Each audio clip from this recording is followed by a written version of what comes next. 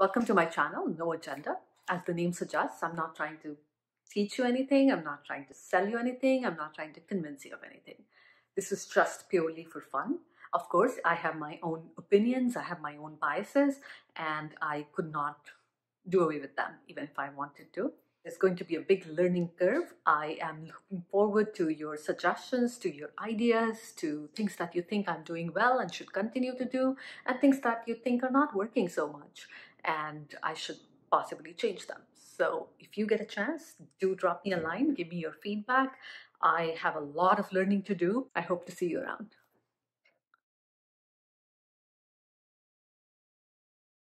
So we're going to do a reaction and a review of Never Have I Ever. It came out in April, so I hope we are not spoiling the series for anybody, but we will try to keep in mind and not give the end out if you haven't watched the series. Um, I watched it in April when it first came out, and I binge watched it. It was very enjoyable to me.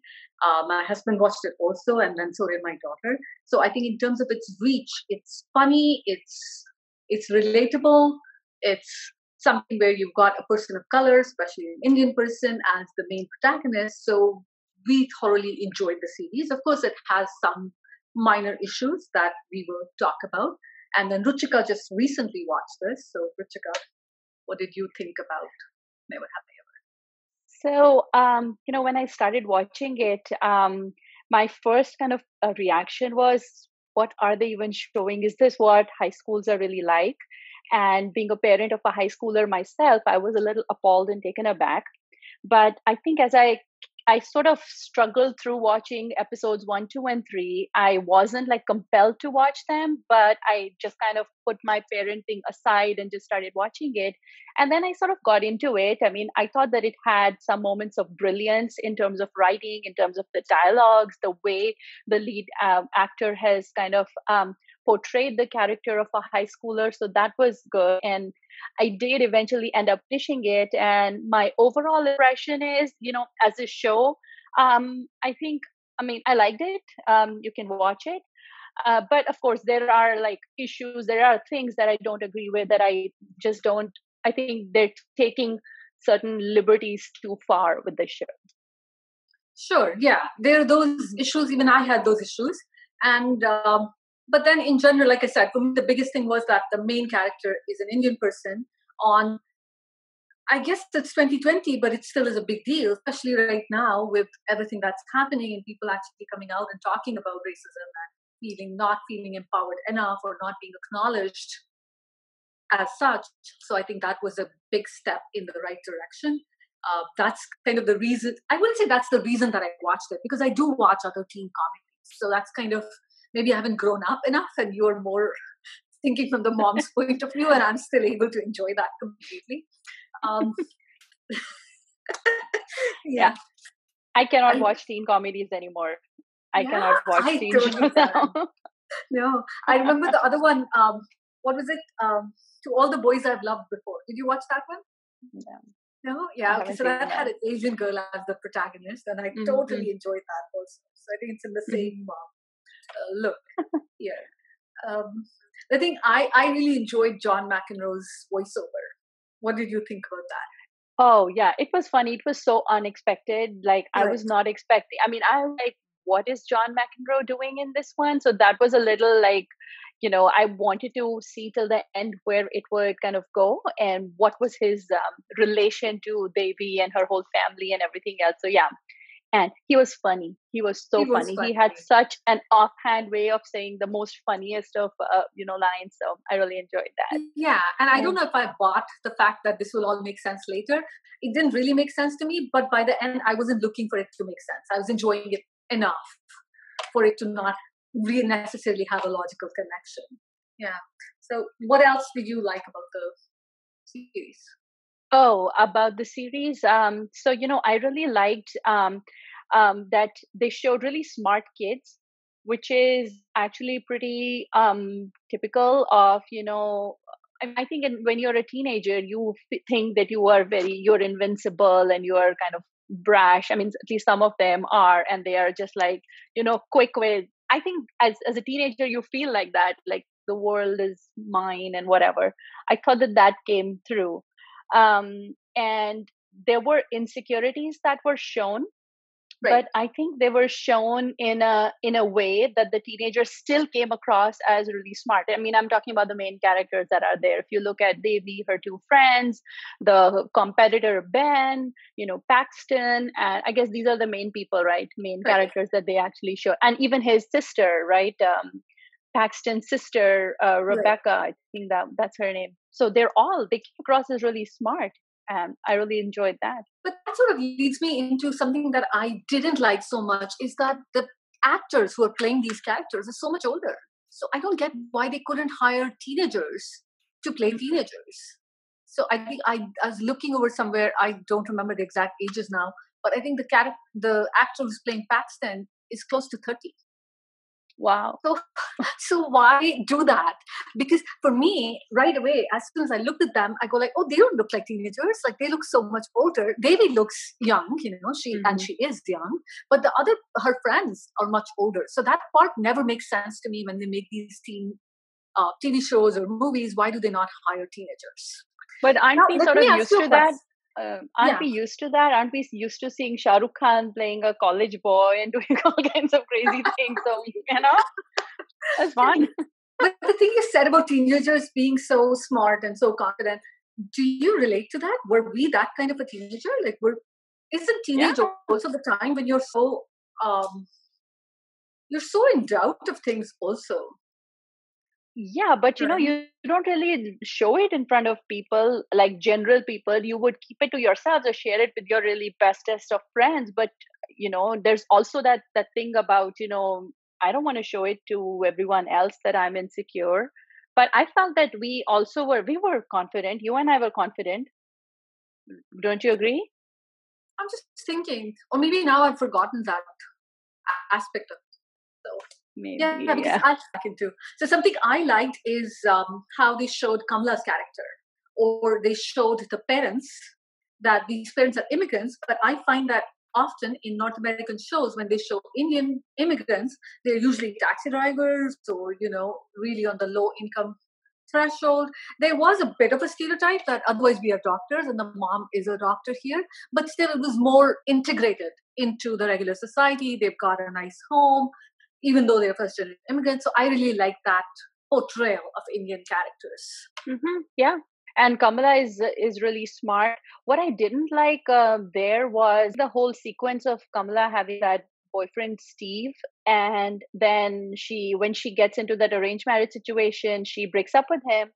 Then she gets back with him, and then when the guy comes to see her, the Indian guy who comes to meet her for the first time, she sort of acts like she likes the Indian guy because he when he says i'm from mit or whatever and she's like okay i like you and then she goes back to steve. So all that back and forth back and forth kind of showed her in a little bit of an immature light in my opinion. And i was like what is going on with her? You know why is she not making up her mind? Yeah, that was in my notes under objections because I wasn't sure if Kamala is being opportunistic mm-hmm. and she's changed her mind and for whatever reason and everybody has the right to do that. But i don't think that clarity was achieved. Like is it her choice to go with this indian guy who her parents have picked for her? Or is she because i don't buy that she's so afraid of telling her parents that she cannot marry someone of her own choice because here she is all by herself living in us doing her phd at caltech. Again that really high bar. Mm-hmm. but you know how can she not tell her parents that this is who she's interested in? So that i was not buying that There's maybe no it's because she maybe it's because her boyfriend was like a, a chinese american guy and not like an indian guy so maybe she she she was like well if i would say tell my parents that i'm not going to go into an arranged marriage but i will marry this other indian boy it might be okay but if i say i'm not going to do this but it, i'm not even going to marry an indian boy i don't know Yeah, that's what I'm saying. There was no clarity there in Mhm. terms of what's her motivation to speak up Right. for herself. Um, the part that I loved the most was the father-daughter relationship. And I mean, I love, I'm a big fan of Sendhil Ramamurthy's anyways.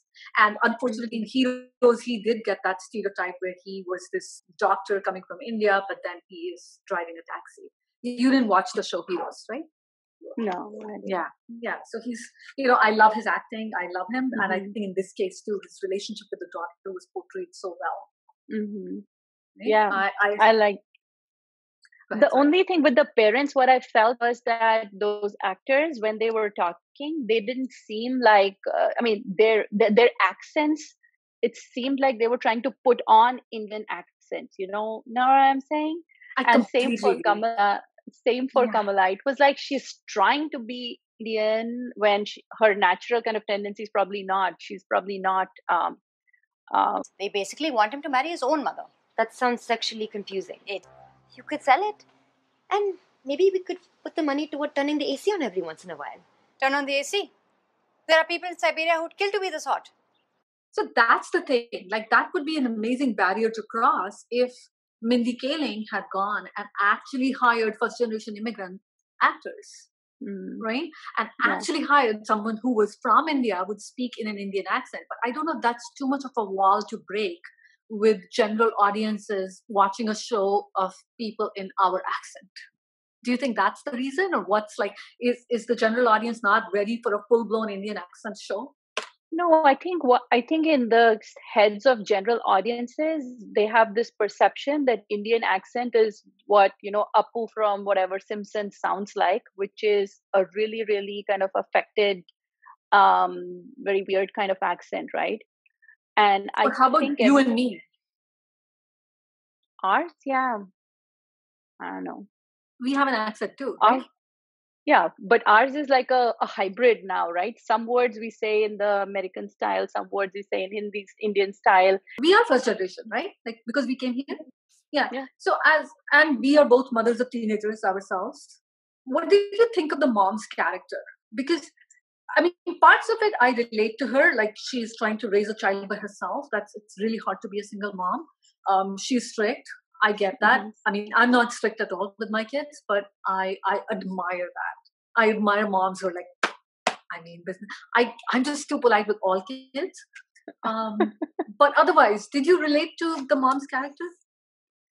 Um, not really. I didn't. Um, and there were some of the things that she said. I just felt that they were sort of. They thought that this is what a, ste- a stereotypical Indian first generation mom would be like, and they just tried to just exaggerate it too much. Like the the scene in the first episode, first scene with the textbook, don't let it drop to the floor, and that. I mean, I do understand that you know you have to respect your textbooks. I say that to my kids too. Don't touch them with your feet, or don't let them drop to the ground, and whatever. But that was a little too much, and so it was um in my mind i thought that the character was not so clean in their in her values in the sense that in one side she's talking about all that and then on the other end when the guy is there to see kamala and then she goes to the room and she finds steve in kamala's room she's like well i knew all about it all along. Why that, you, that he keeps visiting your room? Do you remember that part? Yeah yeah. That. and she sort of just took it in her stride. So i just felt that that was a little you know एक तरफ़ तो तुम इतना मतलब वो सब कर रहे हो, तुम इतना इंडियन वो एग्जैजरेटेड इंडियन वैल्यूज़ दिखा रहे हो, बुक को मत हाथ लगाना, ये नहीं, पैर लगाना, ये सब। And then on the other hand you are okay with that so maybe maybe it was stemming Yeah, I- from that you know? No i agree with you. I thought she was a caricature too and she was more a caricature of people from the generation before us. So the people who had maybe possibly immigrated to the us in the 60s 70s 70s. right? So those aunties might have acted that way but i don't mm-hmm. think you and i are like that.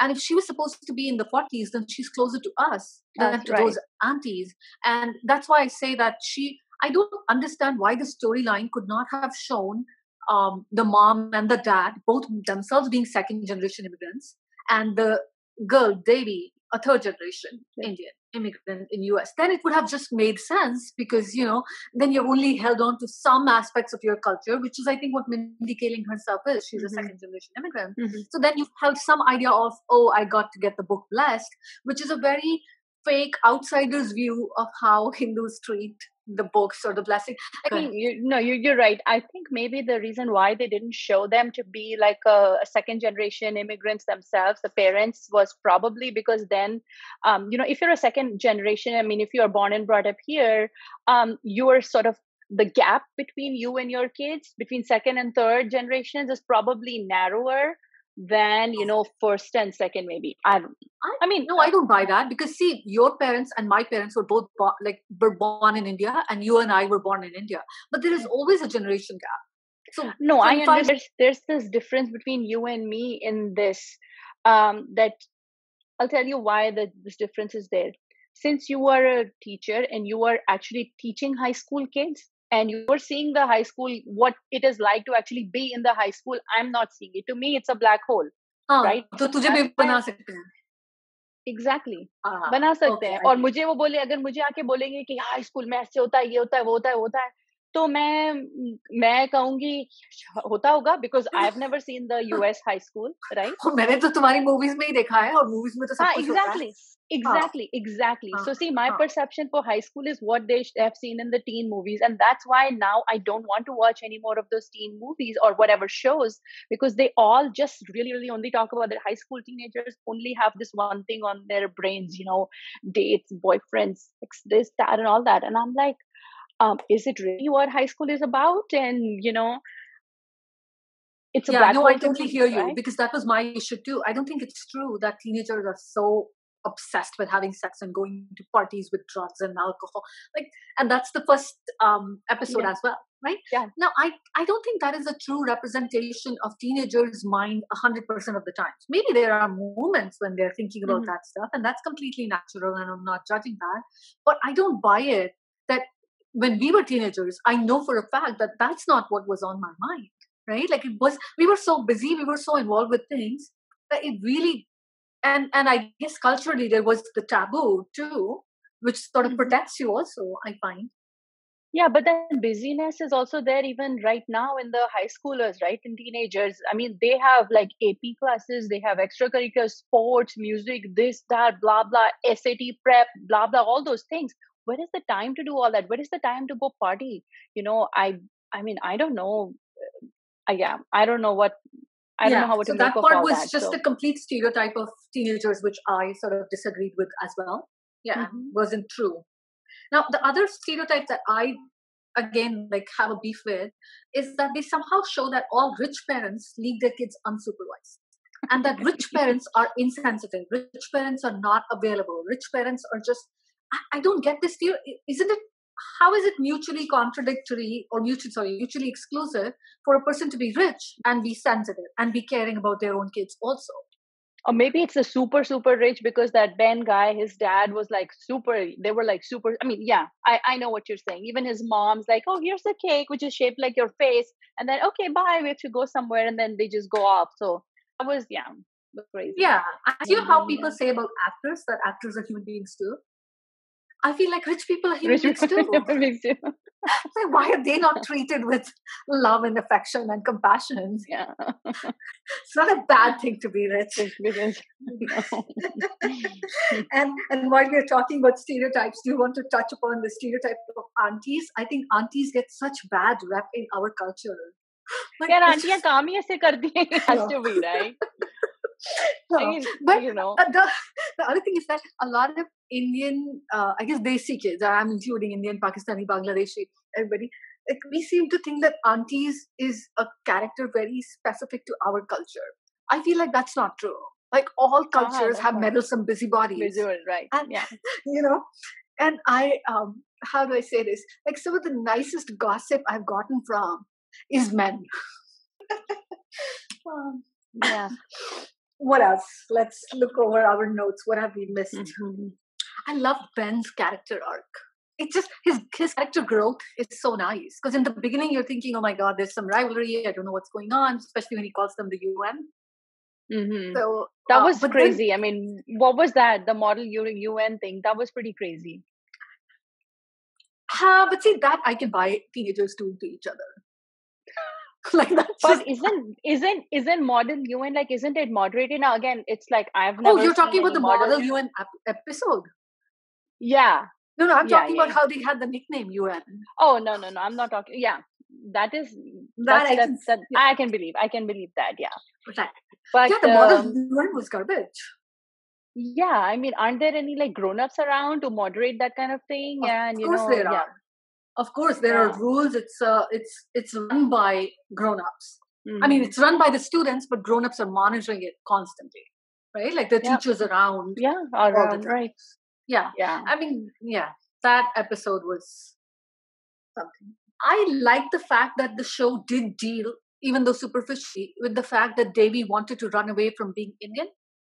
And I find that, that that is very common to teenagers who are growing up here in US or in Canada, where they in the beginning do not want to hang out with Indian people, Indian friends, but then eventually they do come back to their Indian roots. So I thought that was well done in the show, especially during the Ganesh Puja, that older boy.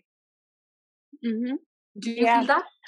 I mean, I don't really have any personal kind of experience with that because, you know, my kids' friends are a lot of them are Indians. And then because of the area that we are in, there's a lot of Indian friends they already have. Uh, in fact, they have more Indian friends and, you know, Asian, Chinese friends than they have, um, you know, Caucasian friends at this point. So, Did you find that storyline of Devi being on the wheelchair and then she miraculously heals? Like that was absurd. Why was it needed? yeah. That was that was quite ridiculous in my opinion. Yeah. Though maybe maybe you know what? Maybe they introduced that because they had to have that really awesome, cool, great character of the uh the shrink. I love the shrink in this show. Yes. How come we did not talk about her? I know she was smart, amazing. like oh yeah, she was great, and the way she kind of took now Devi kind of threw ridiculous, outrageous statements to her, and she just took them in the stride and just kind of batted them away here and there, and like I, I thought that was so funny. Yeah. it was really good. So overall, give a number to the show. Um, I would give it a seven, and I would say if you want to watch this show, you know, just don't watch it with your whole brain involved. Number one, understand and remember that you know uh, there are stereotypes in show, and there are some very exaggerated stereotypes. But watch it for the writing, for the dialogue delivery, for you know the some of the themes are actually um, pretty awesome in there. So watch for that. Yeah, I I would say eight and a half, just because I'm more lenient marker. Um, and I, I loved it. It's funny. It's um it's good to watch in in a go. It's definitely like if you've got a weekend, you haven't planned anything much, then definitely it's a show that you can watch and Right. maybe watch with your kids. You can talk about some of the issues that come up. I know you haven't seen your kids haven't seen the show. No, I actually showed the a few like 15 minutes of the first episode to my son and he was like he thought some of it was really funny. um like the teachers especially the first teacher comes in and the first the AP uh, US history teacher comes and you know it talks so there were things that were funny. Um there were some jokes that he got which I didn't get. So you know when she's Yeah. in the wheelchair and somebody says hey fdr and you know and Yeah. then he's like laughing i'm like why is that funny so he's like he got that you know we are not enculturated in i, I know i know yeah.